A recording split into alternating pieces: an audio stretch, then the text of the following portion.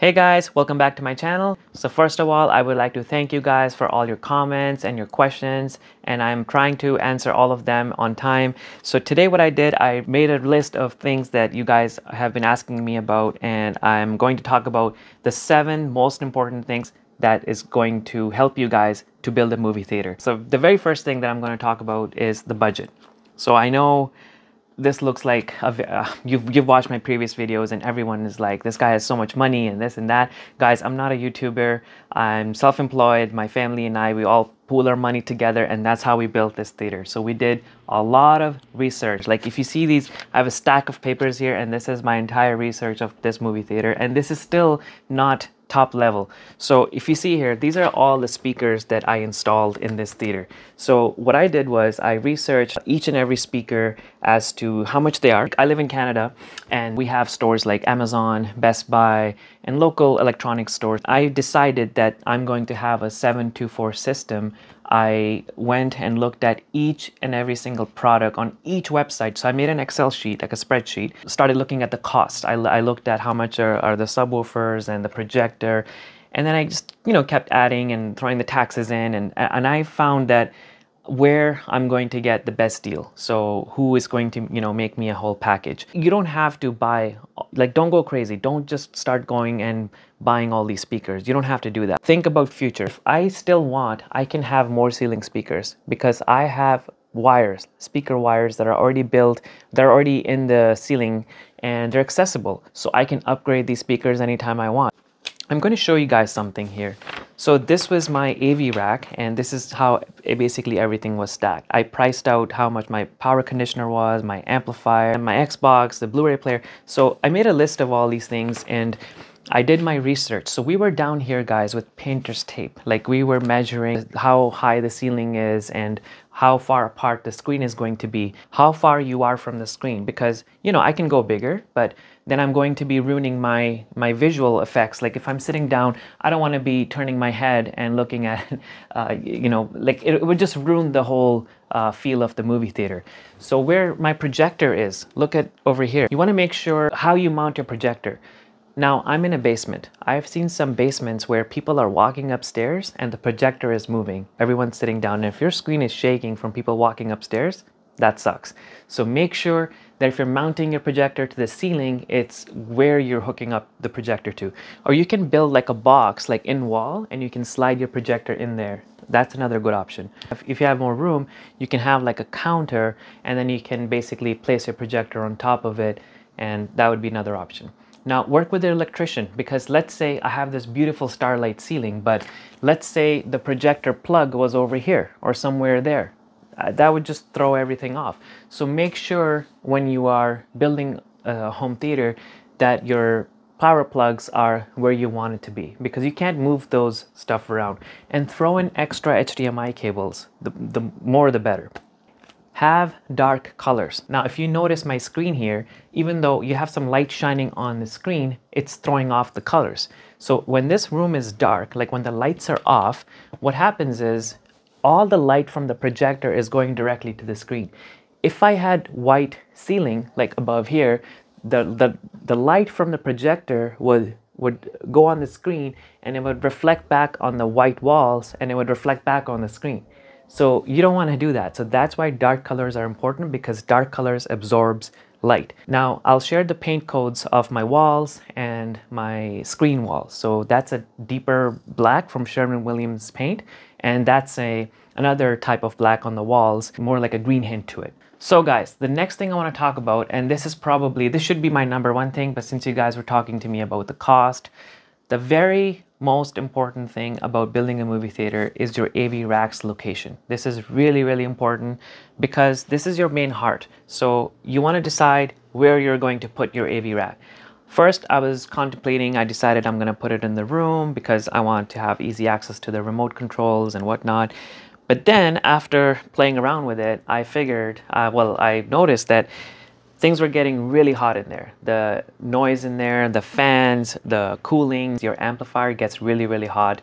The fans have to be turned on. Uh, there are so many lights. So you want to put your AV rack somewhere in another room or in any other location. You can put it behind the screen, the wall behind the theater. So do your research. Like everyone's, you know, uh, different. I would avoid putting it in front of the room like i've seen some theaters where they have it like underneath the tv or underneath the screen I, I would avoid that personally i think that just kind of takes away from the clean look when you go to like a professional movie theater where you don't see the AV rack. Everything is behind, it's behind the projector, and you guys just, you know, sit there and enjoy the movie, right? So if you want that feeling, make sure that you tuck those away. Another thing, make sure you put this on a separate 20 amp circuit. So work with the electrician to make sure that it has a separate switch that goes to your panel. If you don't have that option, put power surge protectors on everything.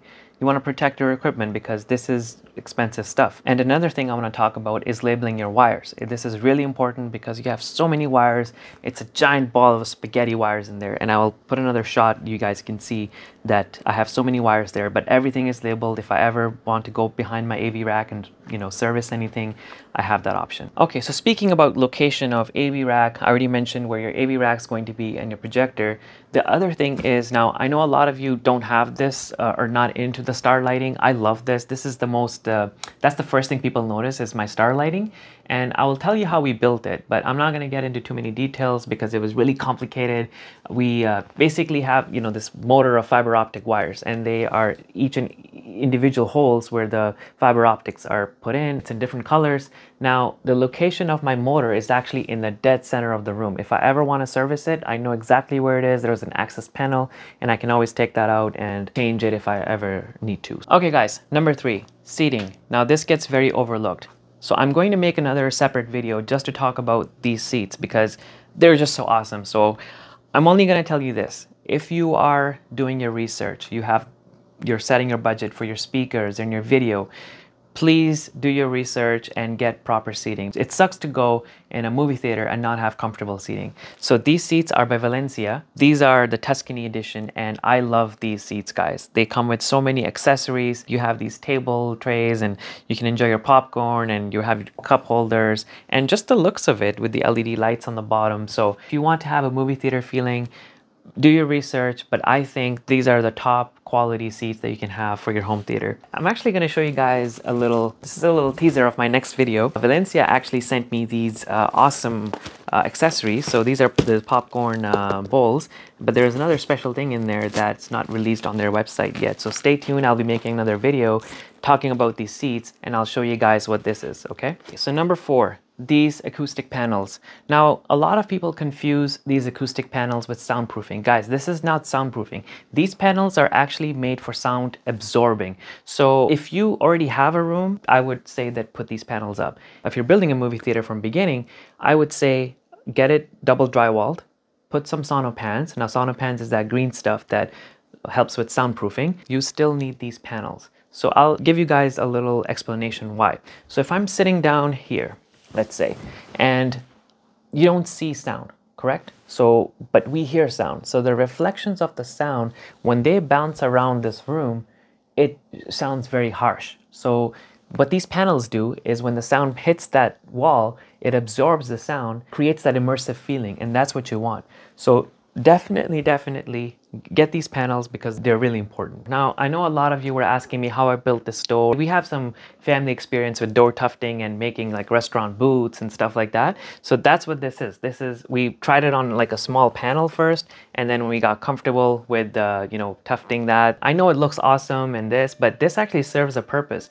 I'm in the construction business, guys, and I'll tell you this. A lot of sound that leaves your room is through doors because people put interior doors. These doors are hollow doors. Like if you get wood doors like interior doors, the sound leaves and come, you know, goes in and out. So it's really, really important. It's really crucial that you treat your door also. So if you're putting panels, make sure if you have doors in that movie theater, make sure that you have weather stripping.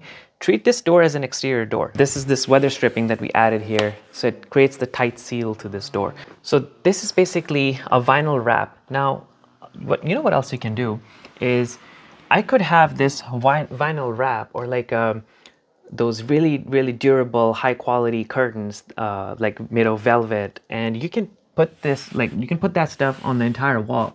You can cover the entire room with that. It will help with the light absorption, it will help with sound, and um, sound calibration. Uh, like I have what seven seats in here. I have carpet, I have panels, but at the same time, if you add more things like more material in the room, then your sound will you know improve even more. And every time you add more stuff in your room, make sure you calibrate your speakers. Now, but calibration, what I mean is I'm going to show you guys another thing. I should have actually said this earlier, but my amplifier came with this little piece here. So this piece, what it does is you put this on a tripod and you hit the sound calibration and what it does it it calculates the distance from each speaker to this mic and it um, sets you know the decibel levels and it makes sure that if you're watching a movie that sound is exactly how the movie makers want you to hear that sound. So make sure that you calibrate each time if you're bringing in more seats, if you're bringing in more furniture in the room, that you calibrate your speakers. Alright guys, now we're to talk about smart lighting. So guys, this is really, really important. Now, I know a lot of you are not into this gimmicky devices and I'm personally, I was not into it either. We didn't have any Google products or Alexa products and we didn't have any smart switches or smart dimmers. But I realized, look at that exit sign. Uh, there's plugs behind the subwoofers. Uh, projector has a power outlet. The couches have power outlets. These LEDs are always on. That AV rack, it has like 15 things in it. Constantly, I have to change colors of the lights and the star lighting, the pot lights. When you're in a movie theater, when the movie comes on, everything gets dim, right? When the movie is over, everything comes back on. So you want to have these smart devices. I'll show you guys a little uh, my, my app here. So this is my app from Meross and you can see all the equipment I have in there. My wall sconces, my step lighting, and I can actually set. So let's say, you know, the previews are on. I can basically hit this command and now we're in the preview function, okay? The movie's over, everything has, it turns back on. So the movie's over, I hit this button and everything comes back on. Okay, so now that brings me to my number six. So we're gonna go outside and guys, this is really important. Now, I know I had the pleasure of having this large space. Whenever someone comes down here, they, they're like, wow. If you want to have a movie theater feeling, make sure that you put up some posters, uh, have a snack bar, you can put a mini bar fridge, uh, have like signs everywhere. Like I have a cinema sign, these candies, you know, all types. I even have like a a snack bar tip here. I don't know how much money is in there yet, but um, so you see over here, I got a washroom sign. And see this, you have the popcorn machine here, you have popcorn flavors, and it just gives that movie theater feeling, the vibe, it sets the atmosphere. Uh, when the lights are dim, all these little LEDs are on, it just sets the mood. Another thing what you can do is, let's say you don't have the big space. You, can, you don't have to put all these crazy posters like me. You can have like one LED poster and uh, it will change, it will still give that feeling, right? So I'm gonna show you guys another thing we did here. I don't know if you watched in my last video. So your content guys, now I know people nowadays, everyone streams, everyone's into IPTV boxes and uh, the 4K Fire Stick. I have all that. We live in the country and sometimes internet goes out. So you want to you know if you're like me if you're really into movies have a movie collection. Like have your favorites at least have your tv shows. And i'm telling you guys one thing. Now i know a lot of you may disagree on this but some of these uh, movies even if you're streaming you don't get the, that quality like i'm talking about the video and audio like dolby atmos when you're playing directly from a disc the sound, the Dolby Atmos sound is amazing. And actually, let's go into the washroom. I'm going to show you guys something here. So this TV here, I know a lot of you were asking me like how I did this. So another thing, with my AV rack location, I was able to bring an HDMI wire and have a power plug behind the TV here. And there's actually a speaker behind this, uh, well, I don't know, I shouldn't be showing this in the video, but there's a speaker behind this picture frame and it actually gives audio as well. So even if the TV is off, I still have audio because sometimes it cuts the signal. Like I don't get 4K signals if the TV is on. That's another thing you want to research. If you are, you know, putting another monitor too in your any other location, you're not going to get a 4K signal. So make sure you're aware of that. And I almost forgot in my last video as well. So you've seen my AV rack where it's located. Now with my AV rack, you know, I mentioned that have the right location, make sure it's tucked away and this and that. When I was building this theater, My AV rack actually has wires to my ceiling speakers inside the basement. There's wires that are going to my uh, living room area here. Now this is also a 5.1 setup. If you look over here, uh, those speakers, all those wires are connected into that small little cubby that we built down there with the fireplace. So all I have direct internet wires that are going in there. The, the, wires are hidden and they're going into these speakers. We're building actually a home extension and we have speakers wires going there. We have speaker wires going outside. If I ever decide to build a shed outside, I can have my AV rack uh, play content outside of my house. So guys, do your research, make sure you have the right budget even if you don't have the budget, you don't have to buy all the equipment and go crazy like me, but at least plan it. So draw out your spreadsheet, draw your drawings and make sure that you do it right. But if there's anything that you guys want me to uh, talk about next, please comment below. And thank you for watching my videos. I hope this wasn't too long and I'll see you guys in the next video.